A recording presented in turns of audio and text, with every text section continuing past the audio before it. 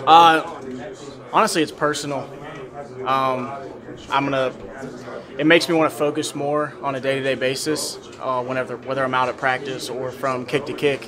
Uh, mainly because I got a lot of buddies that go there, and uh, say I miss a field goal or like it's a close game or whatever. Like no matter what, I'm gonna hear about it at the end of the day. So it's really just staying focused and getting the job done. Does your phone blow up a little more this week than compared to the other 11? Yeah, I get a lot of people talking crap, uh, but it is what it is.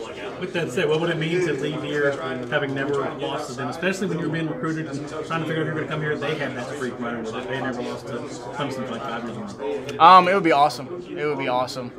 Uh, I mean, once again, knowing the guys down there, that's something that I could always just say to them is, um, okay, well, I'm sorry, did you guys win? Or but regardless, it would be it would be awesome um, if we do win this upcoming weekend. But once again, we got to treat it uh, like the biggest game of the year, and uh, we got another goal to, to win, and uh, that's win the state championship. So we're gonna take it a day at a time.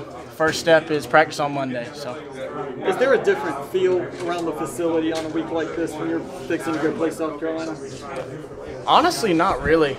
Uh, just because Coach Swinney always emphasizes that every single week is the biggest game of the week, and what's allowed us to be successful up until this point is the fact that we have kept that mindset. Um, the fact that Clemson plays to a standard, not to an opponent, and that's really cool because you get the same exact atmosphere every single week, whether it be at practice or in the meetings or just anything like that.